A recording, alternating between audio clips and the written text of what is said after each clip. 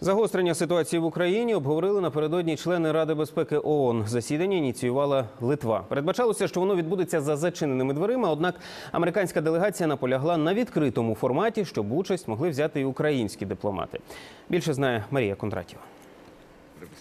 Мирний план, який пропонує Росія, є планом з окупації України. Так сказала американська представниця на 28-му засіданні Радбезу ООН щодо ситуації в Україні. Такі мирні плани світ уже бачив, твердить Саманта Пауер.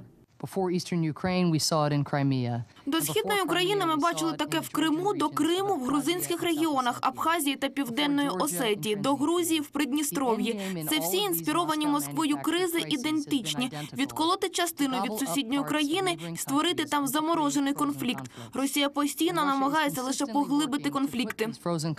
Якщо Росія справді прагне миру, то має виконувати мінські домовленості, сказала Пауер і додала. Армія терористів більша ніж у деяких країн Європи. Москва постачає бойовикам важке озброєння. На ці слова представник Кремля відповів звинуваченнями і вкотре переклав провину на Сполучені Штати. На протяжении всего украинского кризиса Соединенные Штаты играют деструктивную, а если называть вещи своими именами, подстрекательскую роль.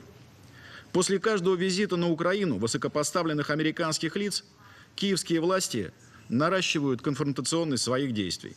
Торік у лютому березні Москва вдалась до маніпулювання основними принципами ООН, сказав під час свого виступу представник України. Прикриваючись правом на самовизначення, Росія анексувала Крим і продовжує військову агресію на Донбасі.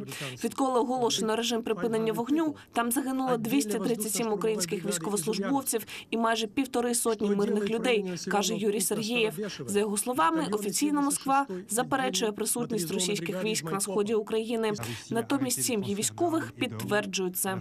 Что делают, кроме названных в Украине, армейские подразделения из Волгограда, Калининграда, Костромы, Шилова, Юрги, Алейска, Гусиноозерска, Печенеги, Спутника, Новороссийска, Тулы, Народофоминска и других. В общей сложности больше 8 тысяч. Они там все в отпусках, как мы неоднократно слышали из пояснений российской стороны. Их семьи об этом знают. За словами Сергієва, нещодавня заява бойовиків про створення власних повітряних сил це лише прикриття для того, щоб застосовувати в боях російську військову авіацію. Делегація з Москви використала право на додатковий виступ, однак на це нічого не відповіла. Марія Кондратєва, перший національний.